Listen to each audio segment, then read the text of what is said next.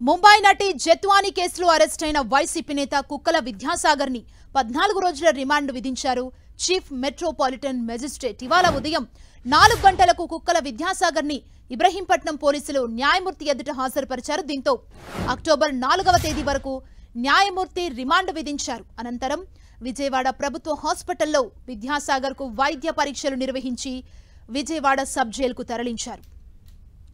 Kadambari Jethwani case Telugu సినీ రాజకీయ వర్గాల్లో hot టాపిక్గా మారింది.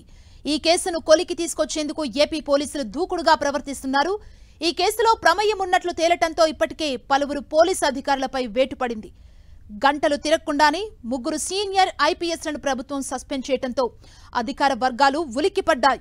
ఈ పరిణామాలతో కాదంబరి కేసులో నెక్స్ట్ ఎవరు అనే చర్చ జరుగుతోంది.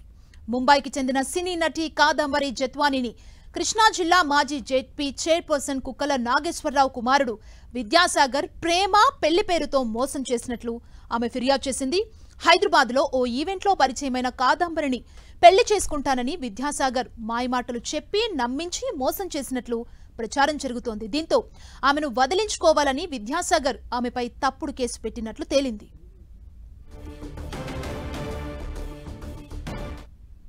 కాదంబరి జత్వాని కేసుకు సంబంధించి తాజా సమాచారాన్ని మా ప్రతినిధి తిరుమలరావు అందిస్తారు. తిరుమలరావు. సుమా ఏదైతే ఉందో నాటకీయ పరిణామాల మధ్య నిన్న అర్ధరాత్రి విజయవాడ పోలీసులు కాదంబరి జత్వాని సంబంధించిన కేసులో ఏ వన్ ముద్దైనటువంటి కుక్కల విద్యాసాగర్ని ట్రైన్లో తీసుకురావడం జరిగింది. తీసుకొచ్చిన తర్వాత బ్రహ్మం పోలీస్ స్టేషన్ సంబంధించి వెళ్ళి అక్కడ విచారణ చేశారు. విచారణ చేసిన అనంతరము విజయవాడలోని పాత ప్రభుత్వ కొత్త ప్రభుత్వ ఆసుపత్రి సంబంధించి మెడికల్ టెస్టులు చేయించుకోవడం తీసుకోవడం జరిగింది. మెడికల్ చేసిన అనంతరము తెల్లవారుజామున నాలుగు గంటల ప్రాంతంలో ఫోర్త్ ఎంఎం మేజిస్ట్రేట్ న్యాయమూర్తి ముందు ఎవరైతే ఉన్నారో విద్యాసాగర్ని హాజరుపరచడం జరిగింది. విద్యాసాగర్తో పాటు అతని వెంపటి ఢిల్లీ నుంచి ప్రత్యేక న్యాయవాదిని అయితే విద్యాసాగర్ తీసుకోవడం జరిగింది. గంట పాటు ఎవరైతే ఉన్నారో న్యాయమూర్తి ముందు విద్యాసాగర్ తరపున న్యాయవాది అదేవిధంగా పబ్లిక్ ప్రాసిక్యూటర్ తమ వాదనలు అయితే వినిపించారు. వాదనలు విన్న అనంతరము విద్యాసాగర్ని పద్నాలుగు రోజులు రిమాండ్ విధిస్తూ న్యాయమూర్తి ఆదేశాలు జారీ చేయడం జరిగింది. తర్వాత ఏదైతే ఉందో విద్యాసాగర్ను విజయవాడ సబ్ జైలుకి తరలించేందుకు తీసుకురాగా సమయము ఇంకా అవ్వలేదని చెప్పేసి ఉంచడంతో తెల్లవారుజామున నుంచి ఉదయం వరకు ఎవరైతే ఉన్నారో నిందితుడు విద్యాసాగర్తో పాటు అదేవిధంగా పోలీసులు కూడా వెయిట్ చేశారు.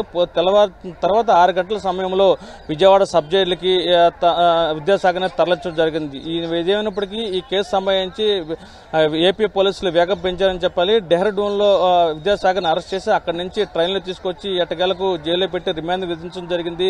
అయితే ఈ కేసు సంబంధించి ఇప్పటికే ముగ్గురు ఐపీఎస్ ఆఫీసర్లను సస్పెండ్ చేయడం జరిగింది. వాళ్ళు విజయవాడ మాజీ పోలీస్ కమిషనర్ కాంతినారాయణ టాటా ఈ రోజు హైకోర్టులో అయితే ముందస్తు బెయిల్ పిటిషన్ దాఖలు చేయడం జరిగింది. ఈ బెయిల్ పిటిషన్ సంబంధించి ఈ రోజు వాదోపవాదనలు వినిపిస్తాయని చెప్పేసి మనకు తెలుస్తుంది. అదేవిధంగా ఈ కేసు సంబంధించి ఎప్పుడు ఎవరు మెడకు చుట్టుకుంటుందని చెప్పేసి ఈ కేసులో ఇన్వాల్వ్ అయి ఉండ ఎస్ఐ స్థాయి నుంచి ఏడీసీపీ స్థాయి అధికారుల వరకు ఒక్క ప్రతి ఒక్కళ్ళు వెన్నులో వణుకు పడుతుందని చెప్పాలి. ఇప్పటికే ఇద్దరు ఇబ్రహీంపట్నం సీఏ ముత్యాల సత్యనారాయణతో పాటు అప్పుడు ఏసీపీగా పనిచేసినటువంటి హనుమంతరావుని సస్పెండ్ చేయడం జరిగింది. దీనికి సంబంధించి టాస్క్ ఫోర్స్ సంబంధించి ఏడీసీపీ ఎవరైతే ఉన్నారో రమణమూర్తితో పాటు టాస్క్ ఫోర్స్లో సీఏగా గా పనిచేస్తున్నటువంటి శ్రీధర్ సంబంధించి వీళ్ళలో పూర్తిగా ఇన్వాల్వ్మెంట్ ఉంది. వీళ్ళు ఈ కేసు సంబంధించి ముంబై వెళ్ళి జత్వాన్ని తీసుకొచ్చిన సమయంలో వీళ్ళే కీలకంగా వ్యవహరించారని చెప్పేసి ఇప్పటికే ఇబ్రహీంపట్నంలో ఎవరైతే ఉన్నారో సినీ నటి జత్వాన్ అయితే కంప్లైంట్ చేయడం జరిగింది. ఈ కంప్లైంట్ ఆధారంగా వీళ్ళ మీద ఎప్పుడు చర్యలు తీసుకుంటుందని చెప్పేసి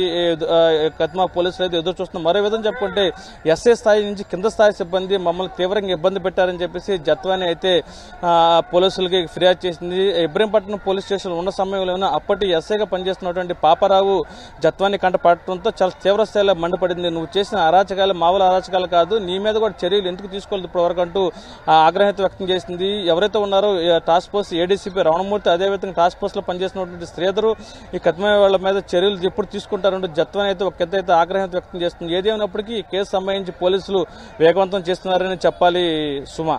థ్యాంక్ యూ తిరుమలరావు